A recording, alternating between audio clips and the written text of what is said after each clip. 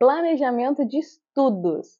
Nesse vídeo a gente vai falar tudo que você precisa saber sobre como se planejar para estudar. Olá, meu nome é Marília Risa, seu canal do Canvas. Eu estou muito feliz de você estar tá aqui e fica até o final porque esse vídeo é realmente relevante e você vai gostar de todas as dicas que tem.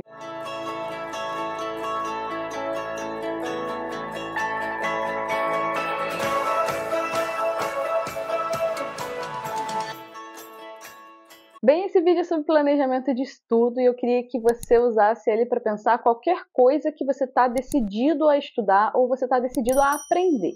Então pode ser que seja um curso regular que você acabou de se matricular, ou pode ser que você precise aprender alguma coisa de forma autônoma. Então a gente vai trazer aqui um planejamento bem legal para você estabelecer ali todos os passos importantes desse seu objetivo.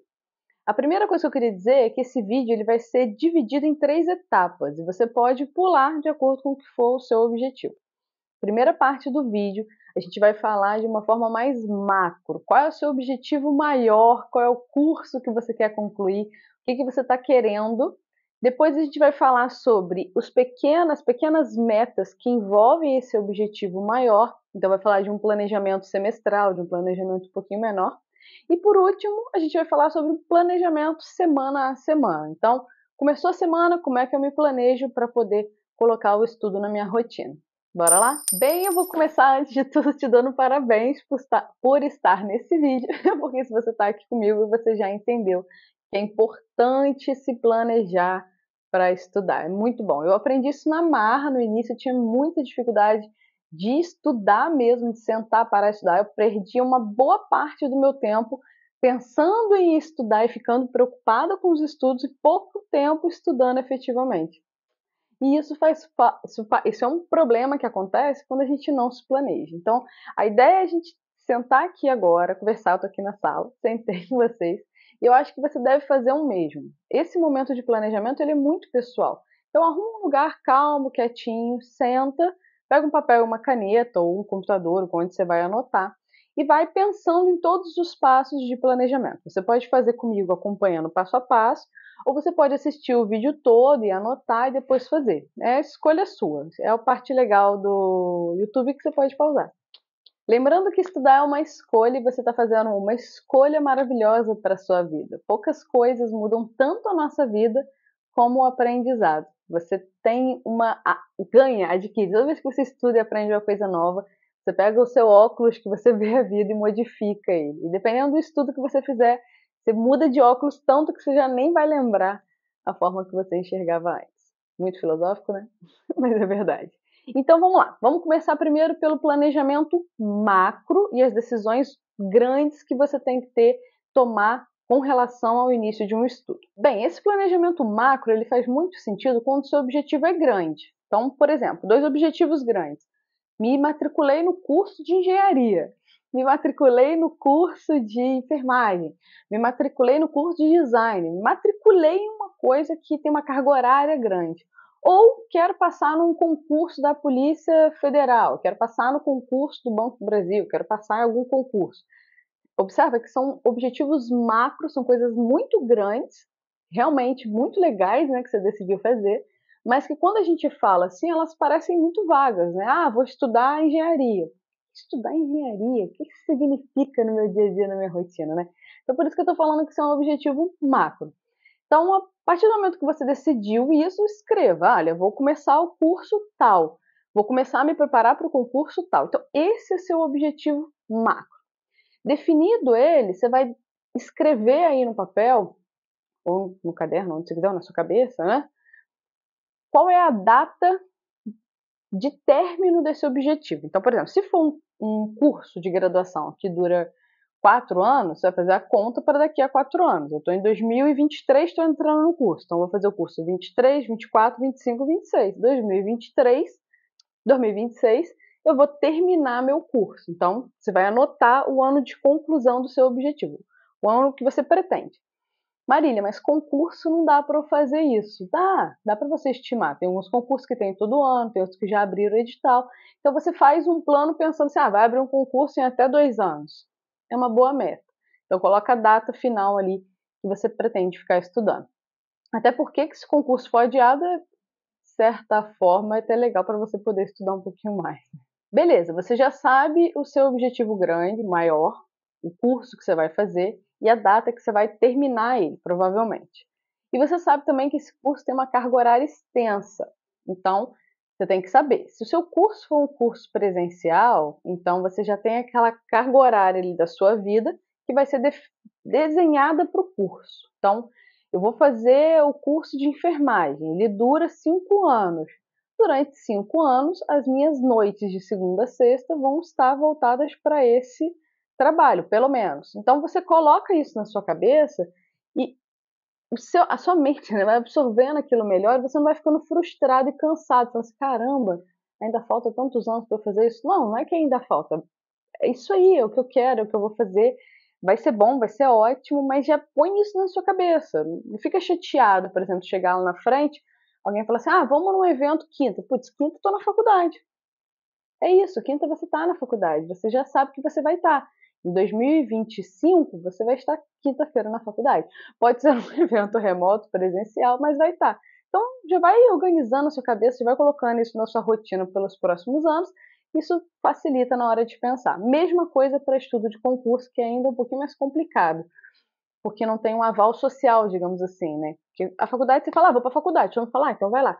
Agora, estudar para o concurso, você às vezes estuda sozinho, autônomo, né? A galera não entende muito. Então, você mesmo tem que pôr na sua cabeça que ó, não posso, quinta-noite, quinta-noite é meu dia de estudar para concurso. Beleza, agora eu vou falar uma coisa que eu acho muito importante para terminar essa primeira etapa macro, que é você parar, fechar o olho e pensar como é que vai ser sua vida depois desse objetivo alcançado. Sim, você pode falar, ai Marília, isso eu tô ajudando. Não, não é. É legal você dar para o seu cérebro ali algumas coisas, algumas ferramentas para ele se motivar também, né? Porque caramba, é trabalhoso. Então para um pouquinho pensa, imagina ali você realizando essa conquista, indo trabalhar no lugar que você sempre quis, cumprimentando as pessoas na entrada, fala, oi, tudo bom, pessoal da portaria, não sei o que, entrando, virando pro seu colega de trabalho, falando, quer o café? Eu trouxe café.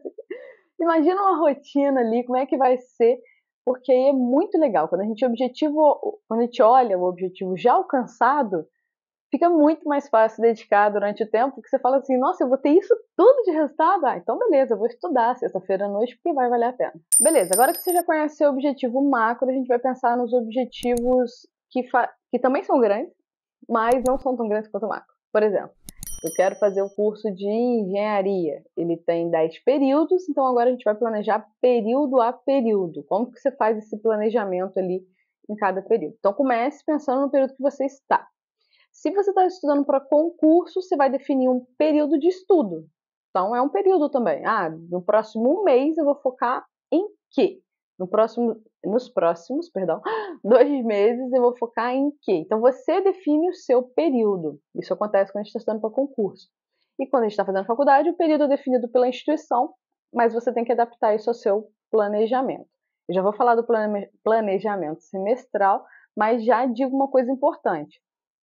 Quando você for fazer o planejamento do semestre, então você vai pegar um planner, pode ser de papel, bonitinho, lindo, que você compra aí colorido, ou você pode usar o Google Agenda gratuito, o Outlook ou Teams, tem várias agendas online gratuitas que você pode usar. E você vai ver lá na instituição de ensino quais são os horários das suas aulas e você vai abrir esse evento naquele dia, todo dia, até o último dia de aula. Se você tiver dúvida de como faz isso, comenta aqui que eu ensino, eu faço um vídeo mostrando como usar o Google Agenda, o Outlook e tudo mais. Porque aí você ali você coloca as suas aulas de hoje até o último dia de aula e o Google Agenda vai te lembrando. E aí você já sabe exatamente ali, já está acostumado, aquilo já fica na sua rotina. É muito importante. Então, quando a gente está falando de planejamento semestral, você vai marcar o início e o fim daquele planejamento semestral. É legal também, uma coisa que a gente, quando é aluno, a gente não dá muita atenção, entende? É olhar a carga horária do projeto ou da disciplina que você está matriculado. Aquela carga horária te diz o quanto que a instituição acredita que você deve se dedicar àquilo. Então, se o seu curso é AD, principalmente aí você vai precisar ter essa organização. Então, vamos supor que você se matriculou num curso e lá tinha um projeto de 120 horas, exemplo. 120 horas você provavelmente vai ter que se dedicar três noites, duas noites e meia, alguma coisa nesse sentido. 80 horas, uma noite inteira ou 40 horas, meia-noite. Então, essas, essas horas você consegue desenhar mais semana a semana e tira um pouquinho esse peso tão grande, né? Então, na hora que você olhar assim, opa, matriculei aqui, eu vou ter que fazer três, três projetos. Esses três projetos, cada um tem 80 horas, por exemplo. Então, oficialmente, eu preciso me dedicar três noites, oficialmente. Claro que vai gastar mais tempo, porque isso é mente, né? Você começa a pensar, isso tudo é maravilhoso, né? Vai pensar sobre isso quando está assistindo a aula, vai levar aquilo para sua família, para a rotina, claro, vai assistir uma série, ok, mas assim, oficialmente você tem aquela, aquela carga horária já definida, porque você já sabe como é que vai ser o semestre, então você sabe que até o dia 15 de julho aquela é a sua rotina durante a semana. Outra coisa importante quando a gente está fazendo um planejamento maior, se você está matriculado em uma disciplina, é dar aquela pequena namorada no calendário da instituição. A gente não costuma fazer, né? Então, antes de começar as aulas, senta lá, olha o calendário da instituição, vê se a instituição tem semana de avaliações. Se tiver, anota isso no seu Google Agenda. Anota já de uma vez, para você não se frustrar, porque senão depois você chega lá no dia 12 de junho, alguém te chama para um churrasco, você fala, ai, vamos, aí você descobre no dia 13 que você tem prova no dia 15. Você fala, caramba, não sabia que tinha prova. Sabia sim, que estava lá no calendário desde o início porque se não tiver no calendário acadêmico, todos os professores no início do semestre já vão falando quando serão as avaliações. Então, você já vai deixando aquele período separado. Mais uma dica aqui é que se você faz um curso tradicional semestral, você vai começar ali em fevereiro, março, e as provas sempre ocorrem lá para o meio de abril, final de abril, início de maio. Então, nem se frustre, essa época aí você vai estudar, isso aí vai ter umas avaliações para você fazer, vai ser divertido. Se for no segundo semestre, e, não, aí abril, maio, por aí, depois final de junho, início de julho. Não marca coisa, gente, não marca. você já sabe que você vai ter que estar estudando. No segundo semestre, isso acontece no final de setembro, início de outubro, e depois lá no final de novembro, início de dezembro. Essas são as épocas de quem faz faculdade que o cara já sabe que ele vai estar ou com muitas avaliações ou com prazos finais para entregar projeto. Então, já põe na tua mente que você não vai marcar eventos nesses momentos. Não, faz isso com você, entendeu? Pra você não se frustrar. Já deixa essas, essas épocas do ano aí separadas para as avaliações mais importantes. Bem, agora que a gente já falou sobre a planejamento semestral, nós vamos agora falar do planejamento semana a semana ali do bora, vamos ver, vamos lá. Se você está comigo aí acompanhando toda essa conversa, pausa o vídeo aí, vai lá, bebe uma água, para, respira. O vídeo ficou grande, mas o objetivo é ter tudo aqui. Sempre que você quiser voltar para lembrar alguma dica, vai lá no time das dicas de se é macro, se é semestral ou se vai ser a semana a semana que a gente vai fazer agora. E o planejamento semana a semana, parabéns que você ficou até aqui no vídeo, que esse é o mais importante para você não pirar. Esse é legal Muitas vezes eu vejo muitos alunos largando a faculdade ou desistindo de estudar para um concurso porque não consegue fazer o planejamento semanal. E de repente ficam atolados com muita coisa e fica estressado com a faculdade, pira com todo mundo, porque está cheio de demanda para entregar, não se planejou. Então, planejar semana a semana é vida, gente. Faz, faz sentido. Então, a primeira coisa que eu te falo, a primeira dica importantíssima é equilíbrio. Sim, você não vai planejar seus estudos se o resto da tua vida não for planejada. Se for só o estudo planejado, a, a, a, bagunça do resto pode entrar na sua vida. Então, é legal que você tenha um horário dedicado para você mesmo. Então, por exemplo, um momento para você fazer atividade física, um momento para você pensar a sua alimentação de forma saudável, porque tá aí outra coisa que eu aprendi ao longo do tempo. Se a gente se alimenta mal, a gente tem dificuldade de foco no estudo, a gente fica cansado, a gente fica com sono, então tudo está interligado. É importante que você tenha um momento de atividade física, porque o seu corpo está ativo. E também é importante que você se alimente bem. Não é conversa fiada, é sério. Ok, você fez o seu planejamento com relação à sua vida. Então, dentro do planejamento da semana, gente, tem o planejamento de estudos. Mas durante a semana, vou falar de novo, você tem que tentar manter um equilíbrio de tempo. Eu sei que quem trabalha deve estar agora rindo, falando, Marília, equilíbrio. trabalha o dia inteiro, de 7 às 7 da noite. Que equilíbrio é esse, né? Realmente, é muito tempo de trabalho. E esse é um cara que você não vai conseguir mudar agora, mas você vai mudar depois que você terminar seus estudos. É por isso que você está estudando. Lembra disso toda vez que você estiver trabalhando numa coisa que você não ama. Então, parou, olhou sua semana, olhou seus horários, separou os horários da atividade física, separou o horário do planejamento da alimentação. Aí agora você vai pensar no tempo que você tem de estudo. E aí, duas dicas. Se você faz algum curso presencial, e é o que eu vejo que as pessoas erram às vezes, a gente acaba usando o momento presencial para interagir, né, para trocar ideia e tal. Isso é muito importante também. Mas tenta, no momento que você está na faculdade, aprender mesmo. Aprender. Olha que doideira. Ó. Parece estranho, né? Mas é verdade. Eu vejo os alunos vão para a faculdade e eles não aproveitam aquele momento. Metade da turma fala para mim que depois vou olhar no YouTube. Eu fico, gente, tá gastando tempo aqui, gente. Tá gastando tempo e dinheiro. Eu até fico nervosa. Então, chegou na faculdade, é o seu horário de estudo, ainda mais se for uma disciplina que você não gosta. Aí sim você tem que estudar ali, tentar entender ali, sugar as pessoas ali. Porque você, para ter motivação depois de estudar sozinho, vai ter? Fala para mim. Então, é legal se o seu curso é presencial, entenda que a carga horária que você está lá é para você aprender também.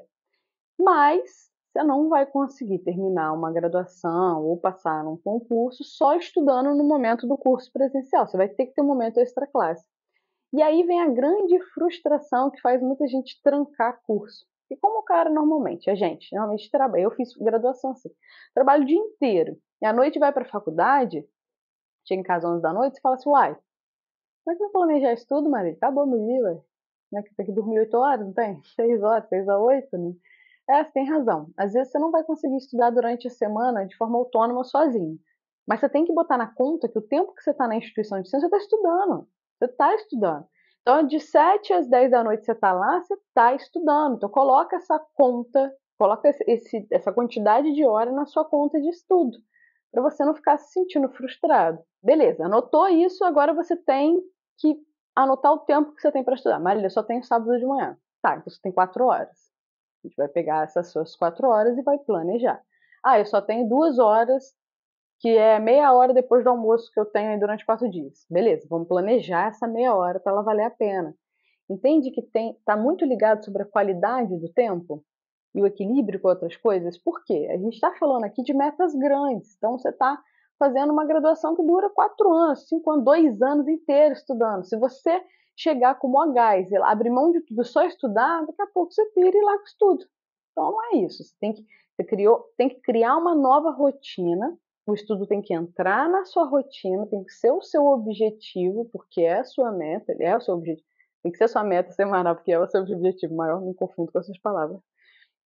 Mas ele tem que entrar de um jeito orgânico, sustentável, que você vai conseguir fazer, senão não vai acontecer, ok? Então, parou, olhou o tempo que você vai ter real para estudar extra classe e comece a planejar esse tempo. E aí vem algumas dicas sobre o planejamento desse tempo. Eu vou dar um pause aqui e agora falar para quem faz curso EAD. Então, se você faz curso presencial, tem esse planejamento que eu acredito que tem que ser pensado, carga horária que você está lá, mais a carga horária extra que você consegue se dedicar. Agora, se você faz curso EAD, é você que monta a sua carga horária de estudo. Então, algumas instituições têm, de EAD têm alguns eventos juntos, né, uns workshops together, juntos. Tente se organizar para esses dias dos workshops ser os seus dias de estudo. Porque você cria rotina na sua cabeça. Porque olha só, pensa. Nosso cérebro é maravilhoso, né? Ele se adapta a tudo. Mas na segunda você estuda, na terça você vai. Você não quer estudar, na quarta você quer. Aí você quer estudar de manhã, no outro dia você quer estudar tarde, no outro dia você quer estudar. Então o cérebro nosso se acostuma com a rotina, ele não sente falta daquilo.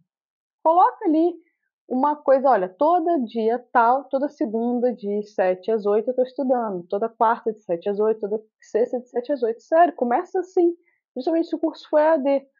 Uma hora de estudo, gente, pode render muito se você estiver focado. Se você estiver focado, vai render pra caramba. Então, planeje primeiro pequenas horas. Ah, nessa primeira semana eu vou estudar três dias da semana durante duas horas. Porque aí você consegue alcançar. Na próxima semana, coloca meia hora mais. Entendeu? Vai, vai aos poucos aumentando a sua carga horária de estudo. Lembra que é uma rotina na tua vida que tu está mudando, que você está mudando. Então, vai aos poucos para inserir essa rotina totalmente. Beleza. Então agora você já sabe ali quantas horas da semana você vai se dedicar, quanto tempo, respondeu essa pergunta? Quais dias e quantas horas e em que hora você vai estudar? Responde essas perguntas aí. Isso, responde. Cara, né, de maluco. Depois de responder essas perguntas, agora tem o grande dificultador da nossa vida, que é a tecnologia, que é a solução, mas também pode ser o problema, que é como eu me mantenho focado. Então, aí é contigo, meu irmão. Tô brincando.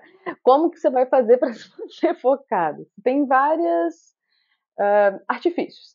Você pode instalar um aplicativo para ver a, a, a, metodologia Pomodoro, né, que é uma metodologia de estudo. Você estuda 20, folga 5, acho que é isso, depois vocês pesquisam. Ou você pode botar o celular para despertar a cada 15 minutos para você levantar para pegar uma água, a cada meia hora, e cada um tem uma resistência. Eu normalmente eu tento colocar 40 minutos ali. De leitura eu coloco 25. Estou aprendendo ainda, leitura para mim é sempre mais difícil, mas eu separo em frações menores. Tenha perto de você as coisas que você vai precisar de verdade. Então, água, ah, alguma, alguma coisa saudável de comer, alguma anotação, alguma coisa que você vai precisar, livro, computador, tudo ali. E tente não estar logado nas redes sociais. Se você estiver fazendo estudo em grupo, aí sim. Se você não tiver, então não. Por favor. Sabe por quê, gente? Me escuta, escuta ele aqui. As redes sociais, elas têm um problema. Porque pode vir ali naquela mensagem uma mensagem motivadora. Poxa, vai lá, continua estudando, muito bom. Ou pode vir uma mensagem tipo assim, ah, bem, acabei de ver sua namorada com um cara atravessando a rua.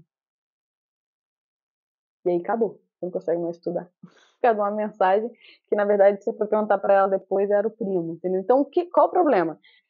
A rede social, ela traz para o seu momento, ela invade o seu momento, que é só seu de estudo, e traz informações que poderiam esperar se for alguma coisa importante, às vezes a família liga, né? Alguma coisa assim. Então, tenta, por favor, se manter longe das redes sociais quando você estiver estudando. Se você gosta de postar para poder se motivar, é muito legal. Faça isso no final. Então, conseguiu alcançar seu objetivo de estudo, que foi estudar durante 40 minutos, foi estudar durante 20 minutos, aí posta. Não posta antes de alcançar o objetivo. Começou a estudar, sentei, montei material, vou postar. Não, vou postar quando eu acabar. Quando eu terminei de estudar tudo, falei, caramba, deu certo, consegui, aí eu vou postar, beleza? Outra coisa importante é você ter um local de estudo. Tente estudar sempre no mesmo lugar. Isso sempre me falaram, isso realmente é importante, você ter um cantinho de uma mesa, um lugar preparado para o estudo. Mas tem pessoas que também não conseguem ficar num lugar só, que é o meu caso, por exemplo. Então, se eu tenho que estudar alguma coisa, começo no quarto e termino na sala.